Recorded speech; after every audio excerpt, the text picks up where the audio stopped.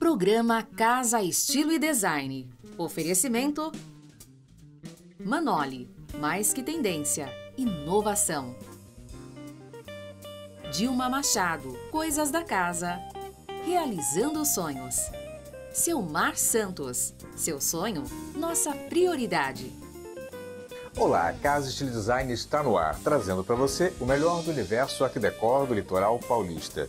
Segundas, quartas, quintas e sextas-feiras, sempre às 19 horas, agora com reprises às 7 horas da manhã, aqui pela Santa Cecília TV. Fique conosco que o programa de hoje está imperdível.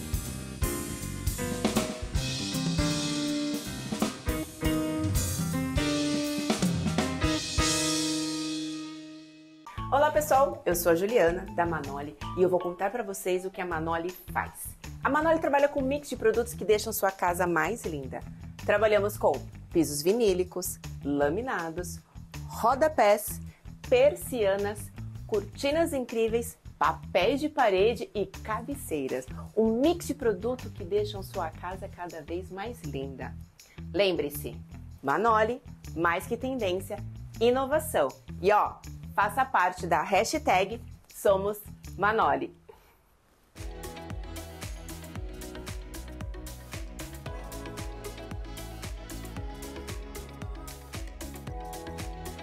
Nós adoramos criar ambientes cheios de beleza, sofisticação, funcionalidade, conforto e, claro, muita personalidade.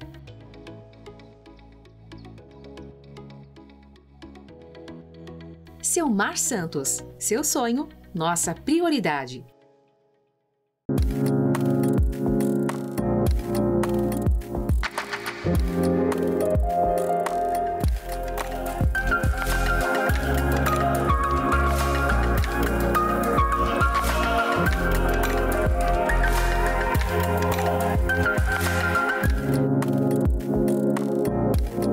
Dilma Machado, Coisas da Casa. Detalhes que encantam.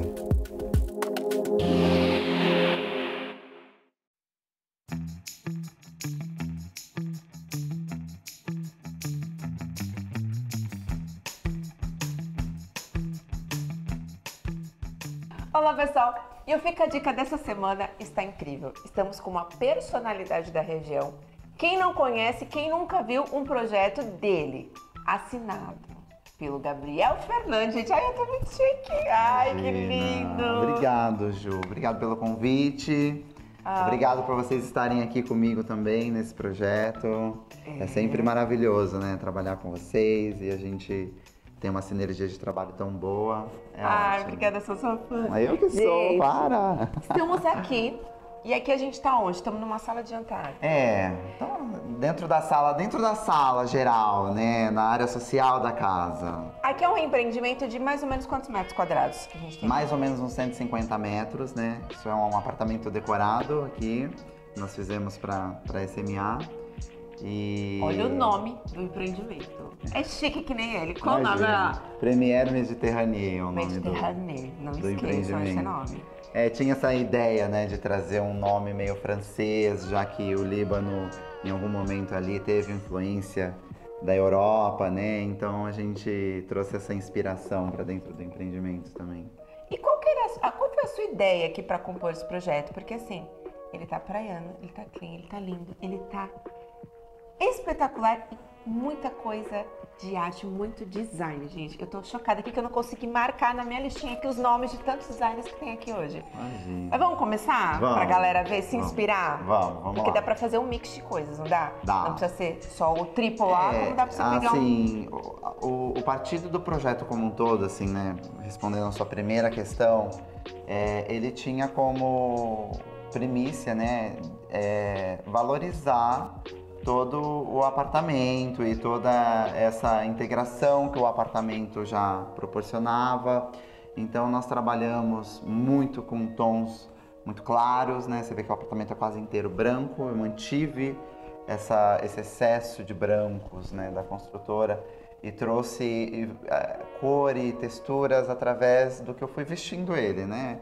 O mobiliário, o pensamento da cozinha em ser uma grande atração para o projeto, As peças de design, como você falou, que eu acho que é uma coisa que realmente traz um peso diferente para o trabalho, né? E, e, engraçado, quando fala sobre peças de design, é um momento onde eu dou uma, uma, leve, uma leve pausada, assim, sabe? Porque é. É, a galera tá muito acostumada a achar que porque você tem uma peça desenhada por alguém que ficou ali tempos e horas desenhando, aquilo custa muito caro, aquilo é muito sofisticado.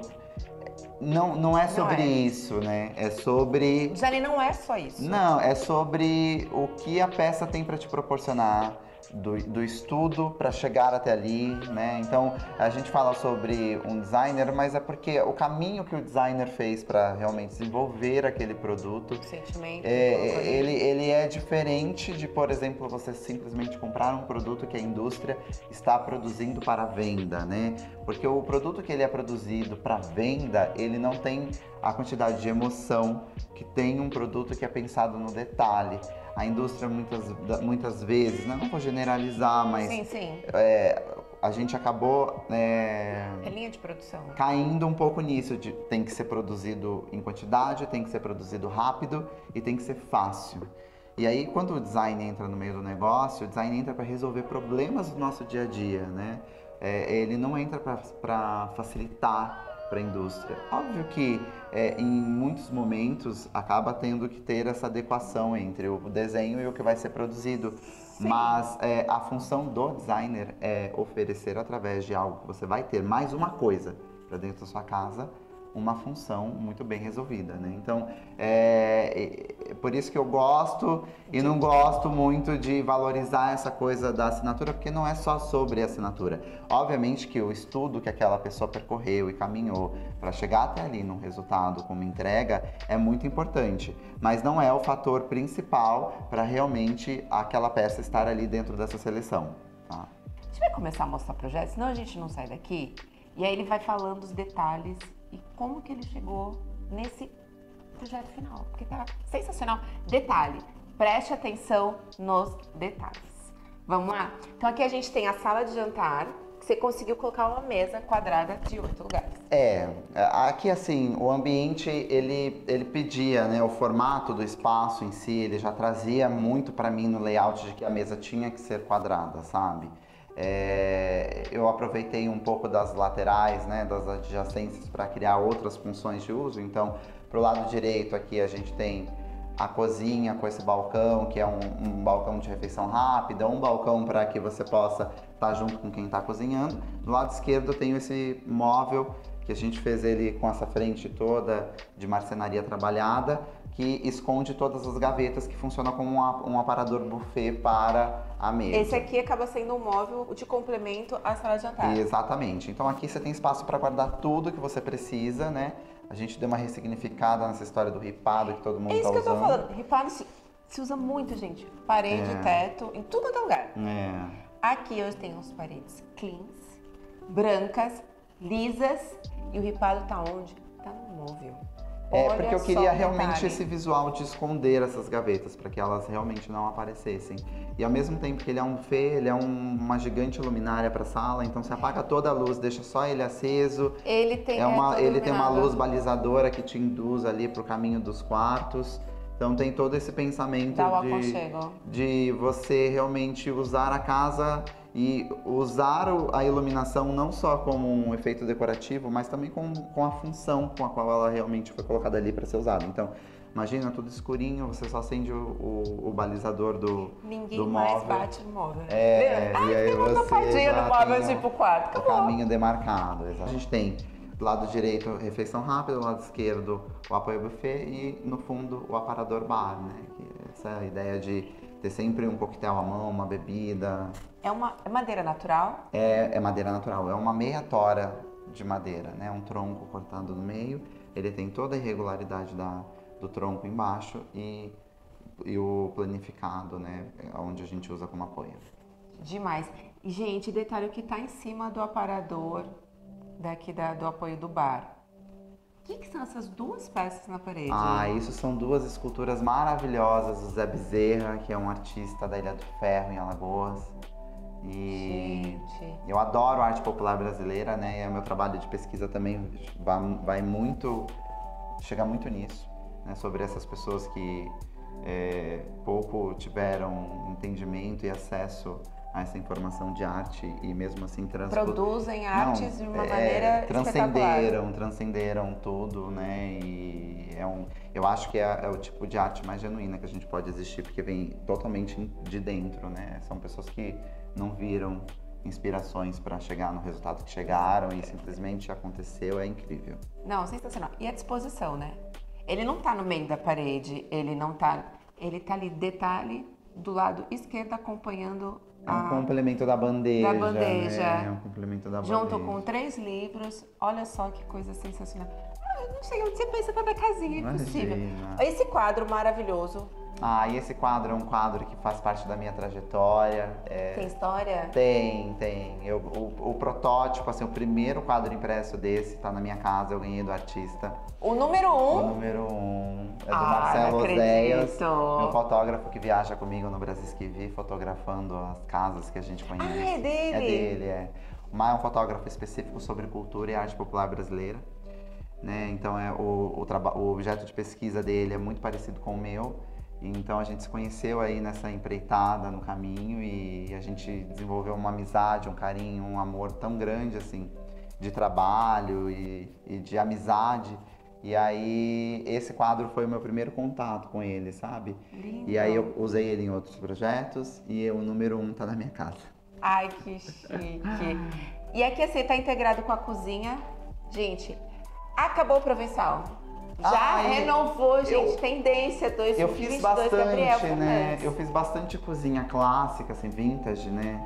E vintage, não vintage, porque não é antiga, mas com aquele visual, né? Mais, Sim, sim. mais retrô e e aí eu tava assim, falei, ah, eu quero uma cozinha diferentona, eu quero uma cozinha com cara de praia, sabe? Porque esse apartamento ele tinha isso pra mim, sabe? Ele tinha que trazer essa cara de, de praia, mas era uma praia mais mediterrânea, uma praia uma praia que não que tá ali na Europa, mas que tá ali na E que não tá num apartamento, É, tá numa casa. tá numa casa. Eu, eu trouxe muito desses detalhes que realmente remetem à casa. E aí foi quando eu entrei com essas portas frisadas, assim, em tons de azul, né? O azul, ele é mais esmaecido, ele é quase um cinza, né? Se ele desce um pouco mais um tom, ele vira um cinza. E porque eu queria realmente trazer algo muito diferente, sabe? É uma cozinha inteira branca, assim como toda a base de todo o apartamento, que é o que de fato a maneira como a construtora vai entregar. E aí eu valorizei, assim, quebrando um pouco esse paradigma de como a cozinha poderia ser e, e trouxe a cozinha para uma cor diferente, mais vibrante. Não, a cor, o a detalhe das portas, o revestimento você manteve, né, gente? Isso é a maior briga, acho, de todo mundo. Manter. Todo mundo quer arrancar o revestimento da cozinha. E olha só, integrou perfeitamente com a sala, né? Você manteve o revestimento inteiro e o detalhe todo ficou onde? No planejado. No planejado, no móvel, né? Ah, eu, eu gosto de soluções. é, eu, eu, eu- eu amo soluções bem pensadas, sabe? Eu acho que hoje em dia você fazer uma solução bem pensada não está muito relacionado a você é, carregar o projeto, nada disso, mas está relacionado a você ter respeito com as coisas, né? Respeitar é, algumas limitações. A gente está tão habituado a querer sempre fazer do nosso jeito, da maneira como a gente quer, né? Sempre do nosso. né, é, tudo, se não for do nosso jeito, Mudar não é. paradigmas, acho que esse é E aí eu, eu resolvi aceitar o revestimento branco e. E botei- bora que vamos, que ele vai compor, vai Botei ficar a lindo. cozinha azul, trouxe os acessórios cinzas. E é isso, a gente, né, às vezes se prende em pouca coisa. Isso é verdade. Gente, olha isso aqui. Ai, Fala. Essa peça é linda. Maravilhosa. É a natureza morta do estúdio Ilude, né? Todas as frutas feitas em concreto. E aí o, o caule da fruta É com, prego. com prego. E aí eu adoro o trabalho deles. Eu tenho essas peças deles aqui. Tem o pinguim, pinguim de geladeira, que eles ressignificaram o pinguim de geladeira e trouxeram o pinguim de geladeira pro concreto. Eu acho o máximo. Pendurador de bananas. Esse pendurador de bananas já foi tão polêmico. Porque teve uma vez, é, é, isso faz parte do- dos meus objetos. Aliás, tudo aqui faz parte da Dessa minha curadoria. curadoria para estilo e classe, né? Que é, que é a loja que eu faço curadoria aqui na região. E é um trabalho que eu morro de orgulho, sabe? Que eu amo de paixão. Você vai caçando peças. Inclusive eu já tô aqui, ó. Eu já não queria ir pra estilo antes de vir pra cá, porque geralmente aos sábados eu, é onde eu faço a minha curadoria, quando eu arrumo a loja e tal. E aí eu tô olhando tudo isso, eu tô- já tô morrendo de vontade de ir lá pra loja pra mexer nos objetos, pra ver o que chegou essa semana, enfim. Ai, Che- tá que chegando uma coleção maravilhosa nova que eu selecionei do Rui Otaki. Ah. E é exclusivérrima, assim, vão ter tipo 20 peças no mundo. E a- Vocês vão ter algumas nós peças. vamos ter a parte da coleção tá com a gente. e, e assim. Eu E onde você busca tanta referência de arte, de design? Eu pesquiso muito, né, Jo? É, Não tem muito assim, uma- um lugar, todo. uma fonte. É você pesquisar, é você tá sempre em exposição. Essa semana tá acontecendo a SP Arte, né? Aí você vai, você olha, você visita, você busca, você faz contato com o artista. Aí um amigo que te indica, te apresenta, você faz um contato. Então é, é muito. é, eu acabei me inserindo nesse mercado através de alguns amigos e, e no fim é, acontece, a coisa acontece naturalmente, assim, não tem muito o lugar da fonte, né? O lugar da fonte, quando a gente quer, a gente acha em qualquer lugar, verdade, né? verdade. Hoje a internet tá aí, o telefone tá aí. E sabe uma coisa que eu reparei assim? Você colocou uma geladeira preta. Então, Toda a a, geladeira... paleta do apartamento é mais clara, você pegou um azul e de repente a gente vem. Eu não tenho muito problema com, assim, em aceitar eletrodomésticos e, enfim, essas coisas, né? Às vezes é, tem profissional que tem toque com, ai, nossa, é, tem, tem um ar-condicionado é, branco e aí a parede é cinza, vamos pintar o ar-condicionado de cinza. Não, gente. Ar-condicionado não é peça de decoração, entendeu? Ar-condicionado é um Ele tá equipamento tem técnico, ele, né? Você pode até escolher um modelo mais moderno, que combine mais com a sua proposta e tudo mais, mas é um equipamento técnico, ele não precisa, ele não é um objeto de decoração, ele não precisa passar por transformações para estar ali, ponto. Primeira vez que eu ouço isso na vida. É, é a minha visão, né? Não, gente, Não que seja certa, mas a é minha a verdade sua não é verdade. absoluta, Sim, sim. né? Existem milhares de verdades por aí, cada um faz da Mas eu sua- acho incrível, porque assim, são maneiras diferentes de pensar e de aceitar Sim. certas situações que vão estar lá e não tem como fazer. Exatamente. Você precisa achar né? solução A gente vive num país tropical, é calor e tudo mais. a- Os nossos projetos estão cada vez menos é, pensados para o clima que a gente vive, infelizmente, né? Então a gente chegou no momento da arquitetura que as construções estão cada vez menos é, integradas com o espaço e com o local onde elas estão. Então a gente tem que se adequar a essa, Sim, sim. essa questão, porque, né? E aí aceitar o ar-condicionado e aceitar a geladeira é uma consequência do processo. Mas assim, é- eu acho que não é só questão de aceitar. Ela compõe, você consegue colocar de um jeitinho que assim, não dá o choque. Sim, sim. É porque tem outras coisas que se fora. sobressaem, entende? É uma geladeira bonita, né? Não é só uma geladeira preta, é uma geladeira bonita, é um equipamento é, que você percebe que é um equipamento gourmet, diferenciado. Mas a atenção principal não é isso aqui, né? Outras coisas realmente chamam mais atenção. Então acho que é aí que, Que que entra tá a questão. trabalho. É. Ai, sensacional. E aí a gente vai entrar na sala. Ai, Eu já queria atropelar tudo, falar desse conversei que eu gostei, mas já me criticaram aqui, porque a gente não tem que ficar namorando do ladinho do outro. Mas olha, qual o nome disso aqui? Isso é uma namoradeira, Uma né? namorada. Tá vendo? Eu falei que era pra namorar. É, é, mas é de fato, é uma namoradeira articulada, então você tem a Olha opção só. de mudar o lado do aqui. E ela entra pra fazer uma divisão de ambientes. É, eu queria que ela fosse exatamente isso, assim, essa integração do jantar com a sala. Então, você pode virar todos os encostos pra cá e tá junto com o jantar. Você pode virar todos os encostos e tá junto com a sala. Então, eu, eu gostei muito dessa piração aqui, assim, de trazer essa divisão com uma função. E eu posso namorar de frente, assim, específica. né? Que nem eu Você falei, pode né? fazer como você quiser, Ju. Outra coisa incrível que eu reparei aqui, essa estante. Sim, é instantâneo. Você achou ela, você escolheu a dedo isso aqui. É, Porque é. ela não foi produzida. Não, é- esse é um produto que eu trouxe para minha curadoria da estilo também, né? E é uma estante bem contemporânea, né? Com os, os tubinhos em, em, aço, as estruturas de madeira, tem umas peneiras, né? De, de palha. Eu, eu adoro estante, eu sou viciado em estante. Sim.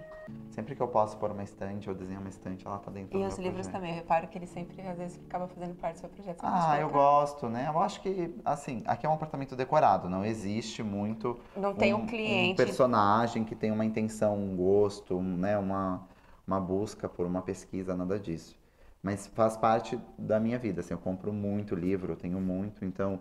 É, como eu tenho a liberdade de escolher o meu personagem, eu decidi que ele ia gostar desses livros. O bate-papo tá ótimo, mas fiquem ligados, daqui a pouquinho, depois do comercial, a gente volta.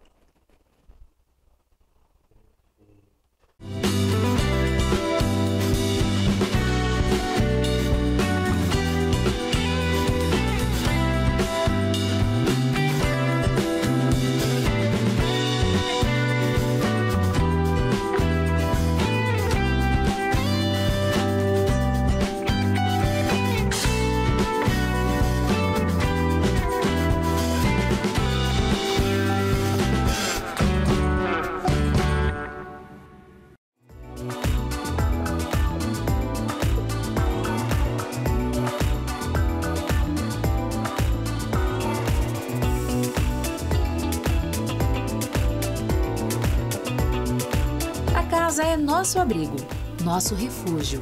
É lugar de ser feliz. Via Mar Móveis, porque você merece mais.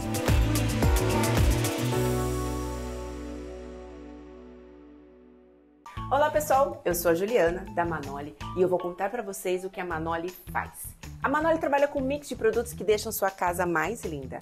Trabalhamos com pisos vinílicos, laminados, rodapés, persianas, cortinas incríveis, papéis de parede e cabeceiras. Um mix de produto que deixam sua casa cada vez mais linda. Lembre-se, Manoli, mais que tendência, inovação. E ó, faça parte da hashtag Somos Manoli.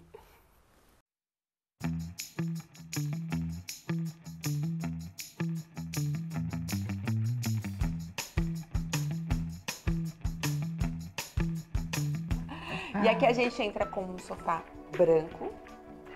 A gente entra com dois tapetes, um sobrepondo o outro. Eu sempre uso a sobreposição. Então, já, eu, já é o segundo ou terceiro projeto que a gente faz, eu vejo na sala sobrepondo eu tenho tapete. muita dificuldade, eu, te, eu, acho que todos os profissionais têm dificuldade de achar tapetes grandes, né? Sim. E assim, a gente tem às vezes é, comprimento, mas nós não temos largura, então isso é um problema.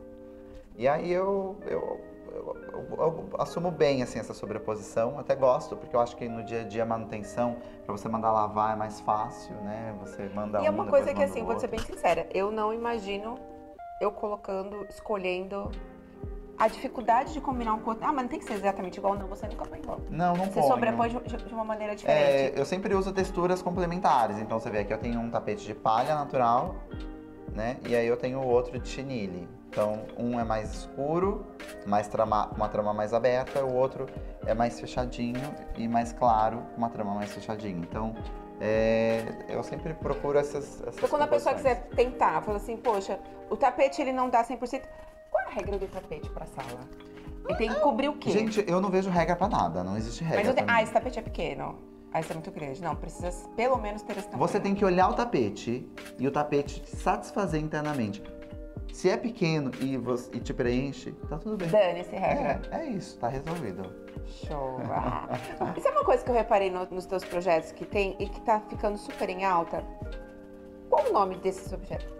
Ah, isso, de isso são mesas de apoio, é. São mesas de apoio. Ali, Mas- aqui, né? Pequenas, discretas. É porque E uma pra tem que ter pontinha. muito essa, essa relação de você conseguir pegar e jogar de um lado pro outro de uma maneira fácil. Porque é para apoiar um petisco, um copo, né, um, um vinho. Então, é- ela é realmente uma mesa de apoio versátil. Por isso que elas são cada, estão cada vez menores. Para serem É, leves. elas estão pequenininhas e assim, estão super compondo vários projetos e- Sim, e, elas estão sim. soltas por aí pra ser usadas. Porque ela é esse apoio desse copo, apoio desse, né, desse desse aperitivo que você tá ali e tal. Então, é, ela tem que ser prática de você mover de um lado pro outro, né? Ai, gente, sensacional. Olha essa cadeira. Olha aqui, isso é um, É um castiçal. Ah, esse eu não lembro o nome da designer, mas é uma, é uma designer da minha curadoria nova, da minha coleção nova, que ela trabalha, tipo, com alguns materiais naturais, sabe? Eu não sei se. Eu não, não lembro direito. Eu vou. Eu vou me aprofundar nisso aqui. Não. É que é uma designer nova, alternativa que eu conheci. E aí eu trouxe algumas peças dela. E olha só como faz a composição Legal, disso. né? São os castiçais. E aí você arremata a sala com uma persiana e cortina. Os Ah. dois juntos? É, eu tenho essa mania, né? De sobrepor cortinas. Ah, mas eu acho que você pega a, a- a flexibilidade de deixar o ambiente fechado. Exatamente. Você quer deixar ele mais sério, você consegue. Você É puxa a cortina acontece, pro lado. tá? Aqui eu tenho muitas essas paredes brancas, né? Então eu quis que a, a cortina fosse uma continuidade da parede branca. Então eu vim com a persiana de, eh, de alumínio toda branca, que eu adoro, porque você tem esse controle das aletas, então você consegue vibrar um pouco mais a intensidade da luz, vibrar um pouco menos, de acordo com o seu controle, com o que você espera. E aí o tecido ele entra para vestir, né? Pra dar aquela É, leveza. o linho ele entra para pôr roupa, para pôr o brinco na casa, né? Então aí você é, sobrepõe a cortina e mesmo com a outra fechada, aí você puxa o tecido de linho na frente, você já dá uma opacidade melhor para a persiana, você já entra para uma outra vibração mais fosca, mais aconchegante, eu gosto. Fica.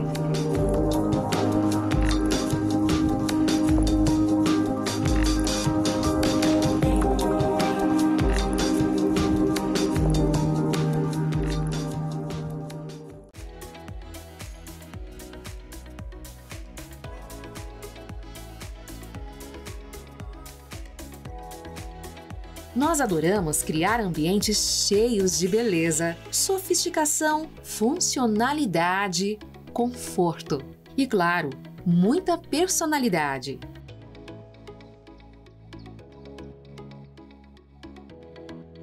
Seu Mar Santos, seu sonho, nossa prioridade.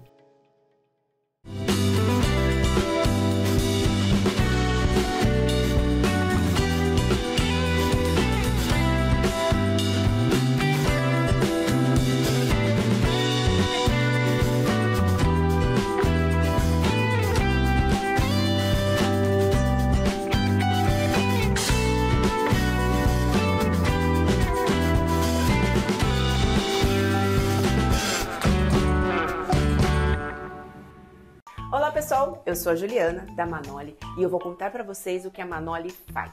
A Manoli trabalha com um mix de produtos que deixam sua casa mais linda. Trabalhamos com pisos vinílicos, laminados, rodapés, persianas, cortinas incríveis, papéis de parede e cabeceiras. Um mix de produto que deixam sua casa cada vez mais linda. Lembre-se, Manoli, mais que tendência, inovação. E ó, faça parte da hashtag Somos Manoli. Nosso programa fica por aqui. Inscreva-se em nosso canal do YouTube, visite as nossas playlists. Lá você encontra muito conteúdo bacana para inspirar os seus projetos. Obrigado e até a nossa próxima edição. Tchau! Programa Casa Estilo e Design. Oferecimento Manoli, mais que tendência, inovação. Dilma Machado, Coisas da Casa. Realizando sonhos. Seu Mar Santos, seu sonho, nossa prioridade.